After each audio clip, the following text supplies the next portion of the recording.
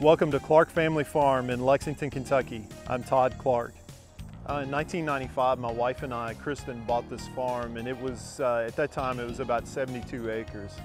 And so the 72 acres was being row cropped uh, conventionally. And so the, uh, the whole 72 acres was plowed.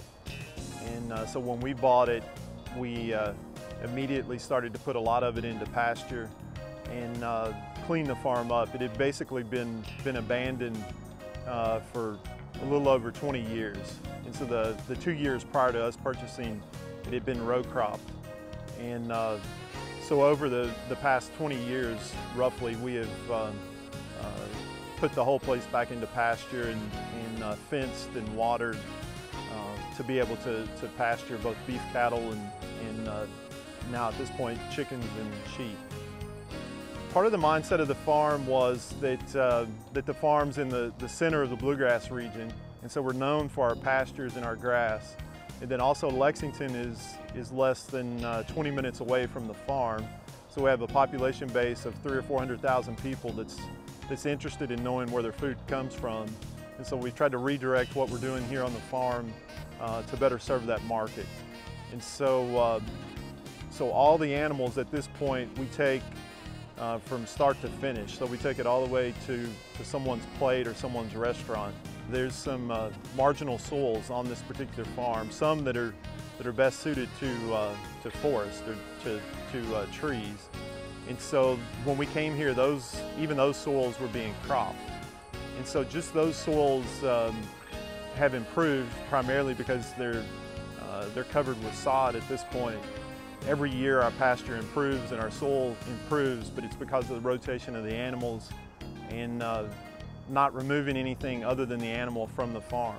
We, uh, we get the chicks in the mail as day-old chicks. We keep them inside in a brooder for two weeks. Then we move them out to pasture at, at two weeks old and they're out on pasture for five weeks. So a total of seven, seven weeks from start to finish. Uh, once on pasture, they're moved every morning, the shelters uh, that the birds are in, and uh, they are fed a grain, a grain diet, so they, they get a little bit from the pasture, but not, not everything that they need. There's a little difference in the consistency of the meat uh, from the chicken that's, that's off of the pasture, and I think there's a, a lot more flavor. Uh, the, uh, the quality of the pasture also improves because of the uh, fertility that the chickens are, are, putting down on the pasture. A minimal amount of seeding has to be done. Uh, it has more to do with just the, the management of the animals and the grazing of the animals. I got into the pasture to plate type enterprises about the same time that Marksbury Farm came into existence. And so we both kind of began or started at the same time and through conversations of those guys processing my animals, uh, I was asked to, to start to produce animals for them.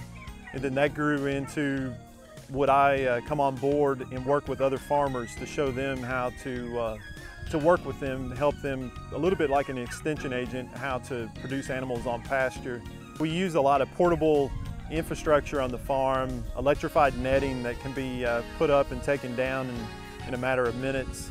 Uh, the electrified nettings for the turkeys, the chicken, the sheep, uh, the layers. The water system on the farm is, um, is buried, but it has uh, quick connects all across the farm because we have to have water in um, 75 locations roughly across the, across the farm. I started out conventional.